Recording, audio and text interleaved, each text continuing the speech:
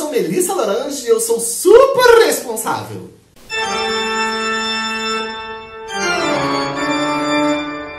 Diretamente do Twitter, porque eu estava sem ideias, temos o tema de hoje que é responsabilidade afetiva, um termo que está meio batido e eu vim aqui dizer que isso existe, mas não é exatamente como as pessoas falam por aí. Aparentemente, o termo responsabilidade afetiva começou a circular, né, principalmente para os jovens, o que é bom, porque significa que jovens agora estão preocupados em ter relações mais saudáveis, menos hierárquicas e com mais diálogo. E para isso eu digo, sim, você está certo. Eu fiz assim tão forte que a Renata balançou. Você está certo, jovem. Você deve ter uma relação mais respeitosa, com mais diálogo e tudo mais. Legal. Porém, calma. Porém, calma. Porque existe um, um abismo entre responsabilidade afetiva e ser um telepata. E é sobre isso que a gente vai conversar. Primeiro, vamos pensar eu e vocês, tá? O que seria essa responsabilidade afetiva? É você assumir a responsabilidade em cima dos afetos que você causa o que isto significa. E cultiva também. Que se você está se relacionando com uma pessoa, e olha que se relacionando pode ser de qualquer forma, pode ser de uma forma até familiar, pode ser de uma forma amorosa, pode ser de uma forma sexual, pode ser de uma forma de amizade. Vamos pensar relações, tá? Essas relações têm afetos e você deve assumir a responsabilidade desses afetos. E responsabilidade significa o quê? Significa cuidar também. Então você precisa cuidar dos seus afetos. E para isso você precisa conversar com as pessoas. O que é muito terrível, porque não sei como conversar sobre sentimentos não faz parte do hábito da nossa sociedade ocidental, da oriental também não, não faz parte da sociedade capitalista em que nós vivemos. Né? Falar sobre sensações, sobre sentimentos, não é muito comum. As pessoas têm medo, porque sei lá, né? demonstrar afeto é perigoso, significa que você está mostrando as suas fraquezas, não é mesmo? Deixando as suas vulnerabilidades à mostra, e a galera tem meio medo de que isso dê um tiro pela culatra, não é mesmo? Um backfire, se você gosta de inglês. E que sobre para você porque você confiou. Mas assim, você não pode também ficar nesse medo de se entregar. Como diria aquela música da Vanessa Camargo. Se entregar parece sapatão e me aventurar numa nova paixão. Ou alguma coisa assim. Então, se você magoou alguém, seria agradável perguntar para esta pessoa por que, que ela está magoada e tentar compreender as suas atitudes em relação a esta mágoa. Ok? Ok. Agora vamos lá. Vamos fazer um salto aqui de qualidade nesta conversa.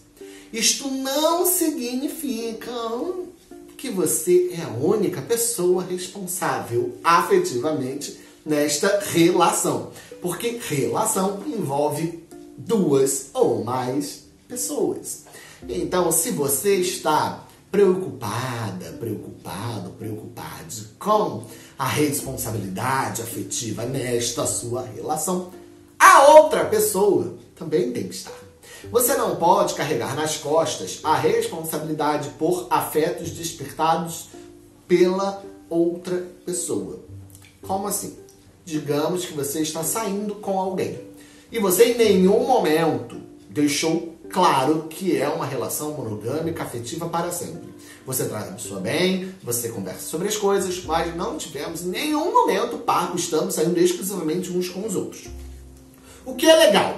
É legal que você não marque de sair com alguém no mesmo lugar que está esta outra pessoa que você está se relacionando. Porque se você não conversou que isso é possível, então não faça, certo? Tem uma coisa aí bem bacana que a pessoa falou. Pensa assim, né? Ai, mas eu não falei que não podia fazer, então posso. Não é assim, ok? Beleza. Tranquilo. Mas digamos que você resolveu sair com outra pessoa para fazer qualquer outra coisa e esbarrou com esse peguete ou pegueta você tá por aí. Esbarrou com a pessoa na rua, cria-se um clima horrível, não é? Uma situação tenebrosa, todo mundo fica de cara. Beleza. Você, vocêzinho, que não estava fazendo nada de errado, pode pedir desculpa pelo inconveniente. Mas, se a pessoa começar a ter um ataque de ciúme, o problema é dela. Pois você não fez nada diretamente para magoá-la e não existe nenhuma conversa dizendo que vocês estavam proibidos de agir desta forma, ok? Então, se isso fosse importante, ela levaria a você. Talvez esse seja um belo momento para vocês conversarem sobre isso. O que acontece? Acontece agora, vamos ver o lado da outra pessoa. A pessoa está saindo para fazer compras e esbarra com o boyzinho que ela tá dando umas bitoca tem três semanas na vida dela. E viu o boyzinho com outra pessoa qualquer, que ela não sabe nem de nada, porque barrou na rua. E ela faz o quê? Fica lá revoltada, manda mensagem, chama de, de desgraçado, de desrespeitoso. Ah, não. Aí você já tá meio que na psicopatia, né? Aí já é um pouco exagerado, porque afinal de contas, esse ser humano tá te dando as bitocas tem três semanas, não foi pra reunião de família com uma prostituta, ele estava saindo com uma outra pessoa no meio da rua, longe da sua casa. Hum, ok? Vamos aí botar a mão na consciência e entender que às vezes você está se doendo porque você tem os seus próprios probleminhas. E isso não é de responsabilidade de mais ninguém, a não ser você mesma.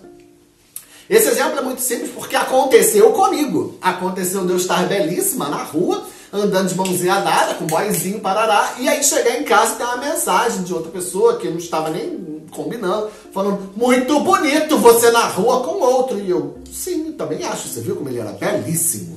Alto, né? Os cabelos belos. A pessoa ficou chateada, porque aí também eu não tenho responsabilidade na psicopatia do outro. Porque eu nem, nem vi que eu fui vista. Então, assim, né? Existem formas e formas de você fazer o approach para um problema afetivo. Uma coisa é, poxa, vi você saindo com alguém. Isto meio que me incomodou, porque eu achei na minha cabeça que nós tínhamos algo sério. E aí eu vou responder, poxa, não, desculpa, tudo bem, também não precisa ser escroto. Retornar à questão de você não precisa de agressividade desnecessária com ninguém. A não ser que seu parente bolsominion. Isso aí não é desnecessária. A agressividade ela é inclusive justificada. Tá? O que eu estou dizendo é segura sua marimba, aceite os seus próprios BOs e responsabilize-se por você mesma, antes de se responsabilizar o outro por aquilo que ele causa em você. Outra coisa que andou aparecendo aí no Twitter também foi o menino, né, que saiu com um boy de aplicativo no primeiro encontro, foi no banheiro, quando voltou o boy estava no grinder. E ele falou, porra, que saco, não rolou mais. Esse menino, ele está coberto de razão. E eu vi muita gente, ai, nada a ver, ele tem todo o direito de ficar no grinder. Claro que ele tem todo o direito de ficar no grinder. Ele pode ficar no grinder quando ele quiser não na companhia da pessoa que ele está saindo neste momento, tá? E aí não é nem responsabilidade afetiva, porque nem tem afeto ainda. É meio que noção. Boa educação, né? O mínimo de dar atenção para a pessoa com quem você está saindo agora. Não dói, não machuca. Você pode responder o grinder depois, não é mesmo? Você pode receber. Você chegou em casa, tá no Uber. No Uber, tá indo pra casa. Já liga o grinder, já acha a foda de amanhã não tem nenhum problema. Mas assim, no meio do date, não é nem a questão de responsabilidade, de novo, de responsabilidade afetiva. É a coisa de ter noção, né? De não fazer um papelão, de não ser um idiota. E aí você perdeu o boy, que inclusive era lindo. Boy, se você está vendo, estou te defendendo aqui, eu nem grinder uso. Então só manda uma DM que a gente vai aí beber. Tá bom? Tá bom. Em resumo, as pessoas banalizam todos os termos que estão pela internet. Isso é muito comum, isso é muito tranquilo, a gente sabe como é. Um dos termos normalmente banalizados é o da responsabilidade afetiva. Então, vamos fazer pequenas regras aqui, eu e vocês, tá? Pra mim, Melissa? Tô, tô sim, pra você parar de ser uma idiota e uma maluca e passar vergonha por aí. Então, para evitar quebrar a cara e passar vergonha por aí, que são duas coisas que eu faço bastante, então eu tenho muita experiência. Ouça sua tia. Primeira coisa, sentimentos que você desperta são sua responsabilidade. Sentimentos que a outra pessoa desperta em você é responsabilidade dos dois, ok? Então veja bem, se a pessoa não está te causando ciúmes, o ciúme é todo seu. Quem se livra dele é você, entendeu? Tá a diferença. A pessoa está tentando te dar ciúme, responsabilidade dos dois. Você teve tudo sozinha aí com seus, seus caraminholas, suas minhocas na cabeça, responsabilidade sua, tá? Muito bem. Ai, fulano fez uma coisa super na inocência que me fez muito mal. Responsabilidade sua. Você pode até conversar com fulano. Poxa, fulano, isso que você fez me magoou bastante. Não estou dizendo que você tinha esta intenção. Só estou te informando que no futuro, talvez, a gente possa evitar esse tipo de situação, porque me magoa. E aí fulano também pode falar, poxa, não sabia, vou evitar. Hum, não tem como evitar, porque faz parte da minha personalidade, então acabou. Entendeu? É uma coisa simples, negócio de conversa sem fazer mal uns pros outros e sem achar que você tá cagando regra pra ninguém, sabe? É uma coisa simples. Gente, como tudo na vida é infinitamente mais simples do que as pessoas dizem por aí. E muito mais simples do que ignorar, não é mesmo? Porque da próxima vez, amorzinho, que você jogar a cartada da responsabilidade afetiva por algo que você criou da sua cabeça, lembre-se, você é maluca e precisa de terapia. E isso não é de responsabilidade de mais ninguém, a não ser dos seus pais, que provavelmente afetaram a sua autoestima. Era só isso que eu queria dizer. Eu vou sair por ali e nós nos vemos num próximo vídeo para mais dicas de relacionamentos e sanidade mental, coisas que eu não tenho. Obrigada!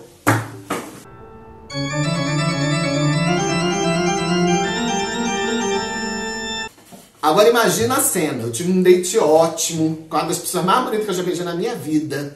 Aí fui pra casa, no ônibus, feliz, contente, satisfeita, serelepe. Estou em casa, abro, tem um textão. Menina, tinha um textão que a pessoa escreveu, ela nem mandou áudio no Zap Zap. Ela escreveu. Mas escreveu. Porque me viu na rua andando com outra pessoa. Qual a chance? Para e pensa comigo, assim, qual a chance?